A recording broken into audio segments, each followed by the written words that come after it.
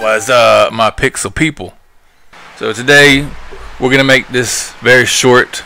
This is a new tool for pixel game maker mv you can change the busts. If you look in the upper right you can see how to import objects if you don't know how to do that. Upper right. You can't get up there so stop trying.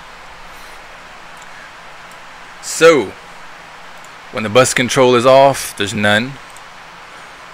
Uh, when the variable is 1, it goes to this. When the variable is 2, it goes to this. When the variable is 3, it goes to this. Um, you can replace it with your own images. And my air conditioner is broke.